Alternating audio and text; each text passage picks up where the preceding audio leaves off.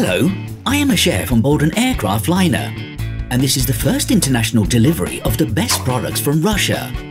Good Food Russia. Today, I would like to make your day with a favourite dish of my childhood. My granny used to cook it for tea. Meet Kozinaks, made of selected seeds from Tambov sunflower.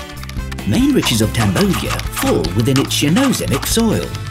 It fits for growing almost any crop species, thus even a sensitive sunflower delivers fantastic crops. So, here comes a recipe. Feel free to write it down.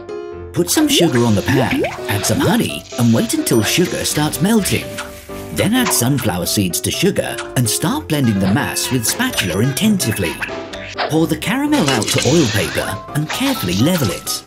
Cool the resulting formation down, slice into pieces and wait for evening tea time. However, if you are a sweet tooth like I am, then you can skip waiting.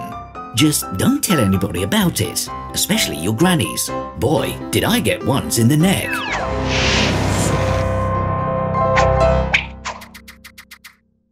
Good Food Russia. From our nature's great wealth to you.